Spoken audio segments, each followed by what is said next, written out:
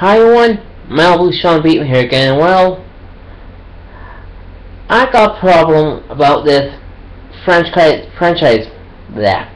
Sorry about my that little flub. So, I, I got this one little problem about this franchise called The Real Housewives of Insert City here. You see, they're not real housewives in my book. They're celebrity housewives if you want real housewife, get ordinary people to show the real housewife of that city. They don't go to so all these big classy events. They are taking their kids to and from soccer practice. They're getting groceries. They're helping out with ch charities that no one that every blue collar person is doing helping out. And sure some of these big name celebrities are wise of other big celebrities, why not let the common person have reality TV shows for once? That that that has, doesn't have been a spin-off of the TV show or became famous because of a of what they did on YouTube. Yeah, why not? I've seen some people who bust their butts trying to find a job and become the next millionaire or maybe oh I don't know seeing a guy who had a big accident like me that had well his pelvic his joint his socket pop out into his pelvis and had and had two surgeries to get the joint back in and a metal plate in. And afterwards after the that moment show him trying to adapt to his injury after the accident and after getting the out of the hospital and see him trying to adapt that his day-to-day life and count and get his the check check and how he is doing every episode like his both depression and show people that people who are disabled who have disability and who have a major accident are human pe people that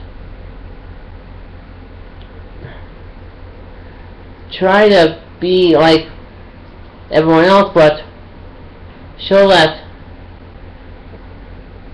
the people like like myself are people too that get lonely and get really depressed because of, of whatnot and and also that, that that goes also for keeping up with the Kardashians. The only reason why they are getting uh, all this attention is because of one of them having a sex video, and before that we didn't know anything about them, except for the father being the the lawyer to of O.J. Simpson, which is pretty good, because what has Kim done since her sex video? Let's see, married Kanye West, which is the biggest jackass of in entertainment. Khloe married Lamar Odom, and look what happened to Lamar Odom. And Bruce Jenner, look at him now. He's now Caitlyn, and how in the fuck did Caitlyn Jenner get that ESPY award for not doing anything in sports since last ESPY award season. That I don't know why. You see, if I if I was an athlete and I got puck to, stuck in my head and I got rushed to the back, tried it, it removed, and I said, and I say, said to the trainers, I want to go back on the ice and finish the game because I that's showing courage right uh, there. Because if you ever had a career-threatening injury or coming back from a two or three year bout of cancer, that's courage. That what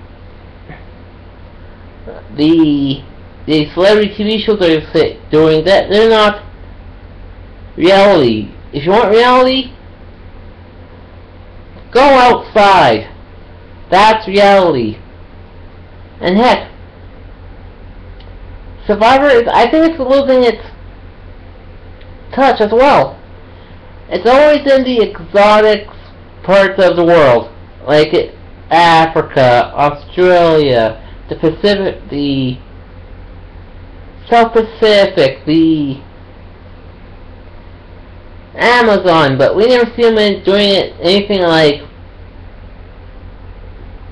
Europe or North America. It's always so glamorous. You see, if I Rat did Survivor, I'll have 16 celebrities on in a remote part of the Canadian wilderness, and they have to survive, like on Survivor for X amount of days with one winner, and it'll be so the non-survivor celebrities you see that come back came back every year, like Richard, Johnny Fairplay. I meant uh, Olympians Oscar winners, Grammy winners,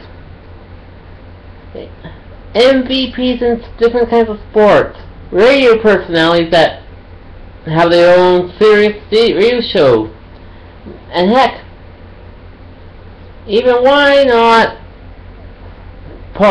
famous politicians? Because you know what? After seeing them in the in the apprentice, why not let them do something that will make them break a nail or make them sweat even better. So this is Malibu Sean Bateman signing off.